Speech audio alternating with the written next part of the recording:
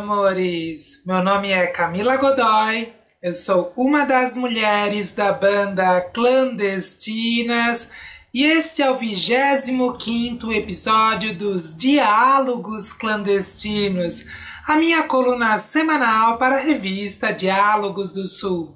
Se você ainda não se inscreveu no nosso canal no YouTube, corre lá, faça sua inscrição. Se você gostar desse vídeo, dê um like e compartilhe-o com as pessoas que você ama.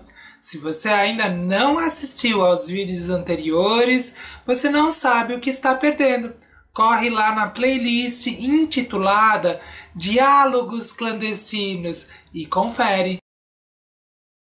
Um princípio jurídico consagrado é o de que ninguém pode alegar o desconhecimento da lei para se defender da acusação de um crime ou de um delito. Ninguém pode pedir para não ser punida, punide ou punido, alegando que cometeu um delito ou um crime sem saber que aquilo era errado, sem saber que aquilo estava descrito em lei como algo que pode ser punido. Da mesma forma, ninguém pode alegar em sua defesa que não sabia que Jair Bolsonaro é machista, racista, LGBTfóbico, tem preconceito contra pobres, defendeu e defende a tortura e torturadores defendeu que a ditadura militar de 1964 a 1985 deveria ter matado mais pessoas. Ninguém pode alegar, na minha opinião, que não sabia do envolvimento da família Bolsonaro com milicianos, da contratação de milicianos ou de parentes de milicianos para trabalhar em seus gabinetes, ou mesmo da homenagem de homenagens feitas pela família Bolsonaro a milicianos assassinos. Ao longo dos últimos 30 anos, este perfil perverso de Jair Bolsonaro e dos seus vem sendo exposto na mídia constantemente. Não vê quem não quer, não viu quem não quis. Fechou os olhos para esta perversidade, fecharam os olhos para esta perversidade aqueles que se sentem representados por essa família, por essas pessoas e pelos militares que ocupam o governo, o poder executivo nesse momento.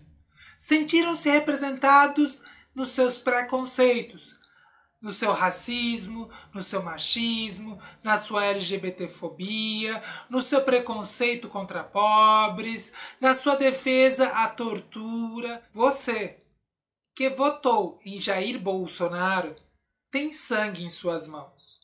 Você tem culpa pela morte de milhares de pessoas por Covid-19 no Brasil. Você tem culpa pelo aumento da violência contra mulheres e pessoas LGBTIA. Você tem culpa pelo aumento do racismo estrutural e as suas violências explícitas, cada vez mais explícitas em nosso país. Você tem culpa pelas violências contra a população indígena e contra o meio ambiente. Você tem culpa pela desgraça nacional que estamos vivenciando nesse período. Você pode ter se arrependido Afinal, essa desgraça geral, o Brasil ter se tornado um pária internacionalmente, pode ter atingido você.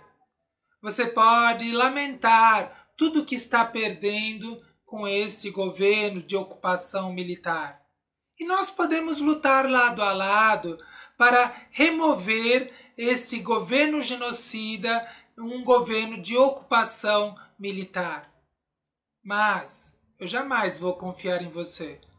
Porque você, ao votar em Jair Bolsonaro, botou uma arma engatilhada na minha cabeça.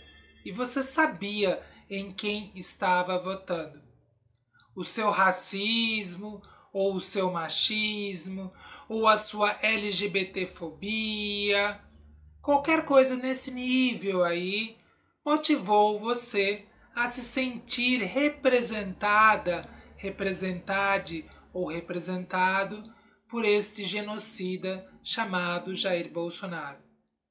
Vamos lutar juntos, lado a lado, mas um dia a gente precisa fazer o nosso acerto de contas.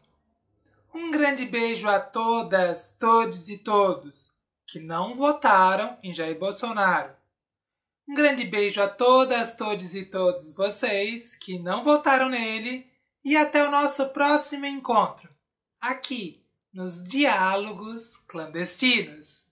Jornalismo independente, análises, opiniões, o porquê atrás dos fatos. Contribua com o nosso projeto. Faça uma assinatura da Diálogos do Sul.